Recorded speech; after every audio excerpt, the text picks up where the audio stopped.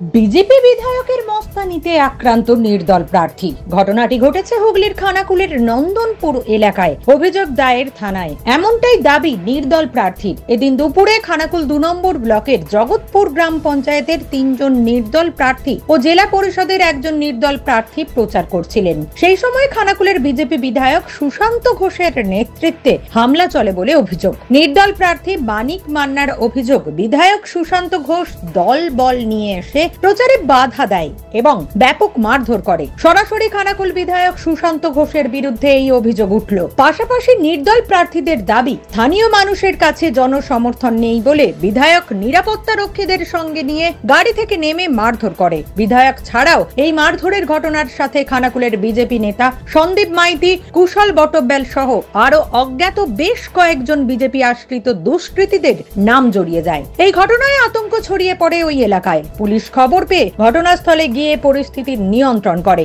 এই ঘটনায় আক্রান্ত হন জেলা পরিষদের নির্দল প্রার্থী মানিক মান্না এবং জগৎপুর গ্রাম পঞ্চায়েত এলাকার নির্দল প্রার্থী রমেশ দলুই, স্বরূপ বেড়া, অমলেন্দু খাঁ। এই ঘটনা নিয়ে খানাকুলের জগৎপুর এলাকার জেলা পরিষদের নির্দল প্রার্থী মানিক মান্না বলেন, নির্দল প্রার্থী হিসাবে নন্দনপুর বিবেকানন্দ বালক সংঘের কাছে প্রচার করছিলাম। সেই সময় প্রচারে বাধা দেওয়া হয়। বিধায়ক গাড়ি থেকে নেমে মারধর করে। আমি মানিক মান্না আমার নির্দল প্রার্থী জেলা পরিষদের আমরা প্রচার করতে, নন্দনপুর থেকে যে প্রচার করতে করতে যাচ্ছিলাম, নন্দনপুর দোলতলা পার হয়ে বিবেকানন্দ বালক সংঘ মাঝপাড়া, সেখানেতে এমএলএ আমাদের গাড়ি ঘিরে আমাদের প্রচারে বাধা দেয়, প্রচার করতে দেবো না, বলে গাড়ি থেকে নেমে প্রথম আমাকে মারধর করতে লাগে, তারপরে আমি ছুটে পালিয়ে যাই, তারপরে আমার সহকর্মী নির্দল প্রার্থী স্বরূপ বেরা অমলেন্দু খাঁ এবং রমেশ দোলইকে অকথ্য হয়ে মারধর করে।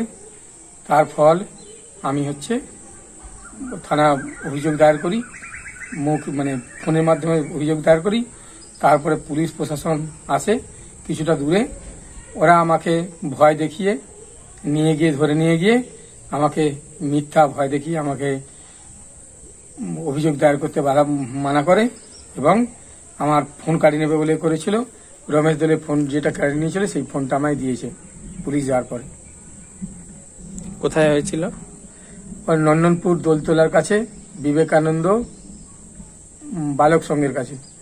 আমি এখন চাই যারা আমার উপরে হামলা করেছে সুশান্ত ঘোষ সন্দীপ মাইতি কৌশিক বটব্যাল কুশব বটব্যাল তাদের যেন উপযুক্ত শাস্তি হয় এবং তার সাথে যারা ছিল আরও আমাদের উপরে অত্যাচার করেছে তাদের উপরে যেন শাস্তি হয় এবং মানুষ যেন তাদের উপযুক্ত শিক্ষা দেয়। অপরদিকে বিজেপি বিধায়ক সুশান্ত ঘোষের সঙ্গে যোগাযোগ করা হলে তিনি ঠিক কি বললেন শুনুন। দেখুন এরকমের কোনো বিষয় নেই। আমার কাছে খবর এসেছে ওনারা আহ, বিভিন্ন রকম ভাবে প্রচার করছিলেন সেই নিয়ে একজন বিজেপির কার্যকর্তা বলছি বাধা দেয়। প্রচারের আলোয় আসার জন্য এই ধরনের মিথ্যা অভিযোগ করা হচ্ছে। ঠিক আছে? তো অ্যাকচুয়ালি তো প্রচার নেই, প্রচারের আলোয় আসার জন্য এই অভিযোগ করছে। ঠিক আছে, যখন ওই এলাকার পাবলিক শুনেছে, ওনারা কি ভাষায় কথা বলেছে, বিভিন্ন রকম ভাবে কুলশিকর মন্তব্য করছে বিধায়কের নামে, মানুষজন এটাকে নিয়ে প্রতিবাদ করেছে, আর ওনারা এবার ঠিক করছে? এবার তবে স্থানীয় সূত্রে জানা যাচ্ছে, জগৎপুর এলাকায় বিজেপির গোষ্ঠীদ্বন্দ্বের জেরে এই ঘটনা ঘটেছে। বিজেপি কর্মীরা পঞ্চায়েত ভোটের টিকিট না পেয়ে নির্দল হিসাবে দাঁড়ায়। এরপর থেকে একটা রাজনৈতিক উত্তেজনা দেখা যায় এলাকা জুড়ে। এদিন বিধায়কের মস্তানিতে এলাকাতে আতঙ্ক ছড়ায় বলে মনে করছেন রাজনৈতিক বিশেষজ্ঞ মহল। নিউজ আজ বাংলা, খানাকুল।